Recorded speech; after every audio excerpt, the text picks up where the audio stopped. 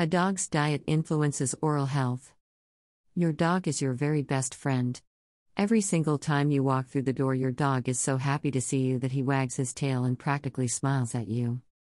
How can you show your pet how much they mean to you? Well, one way is to take care of that smile for your pet. Did you know that your dog's diet can influence their oral health? Humans need to brush and floss their teeth regularly to keep their teeth, tongue, and gums in good condition.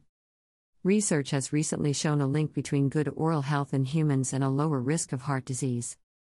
If good oral health can have such a profound effect on people, then it only makes sense to consider the impact it can have on man's best friend. It is important to brush your dog's teeth frequently to keep plaque and tartar from becoming an issue.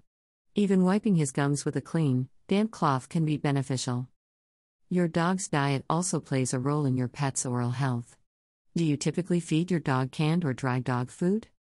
What kind of treats and toys do you provide for your pet? All of these things can affect the likelihood of trouble with your pet's teeth. When your dog's diet is nutritionally sound, containing essential vitamins, nutrients, and enzymes, your pet's oral health will be at its very best. Feeding dry dog food rather than a moist canned variety is best for your dog. The tiny kibble's hard surface rubs against the teeth to remove and reduce plaque.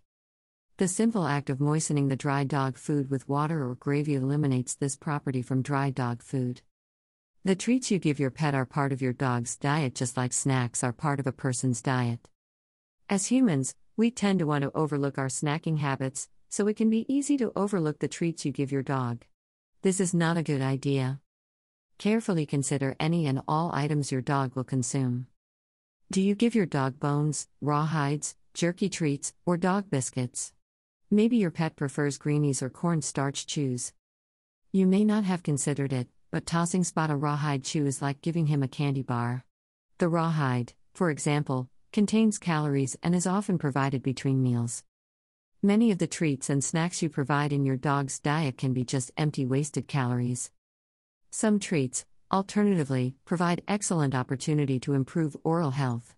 Greenies, rawhides, bones, and hard dog biscuits all help to keep tartar at bay. The softer snacks, such as jerky treats, do not provide much relief from plaque. The healthy treat, on occasion, will also prevent your dog from having bad breath. Your dog's diet must be healthy to ensure excellent oral health. Dry dog food is best whenever possible. Don't forget to select treats for your pet that will enhance your dog's diet. Consciously monitoring your dog's diet will positively influence your best friend's oral health.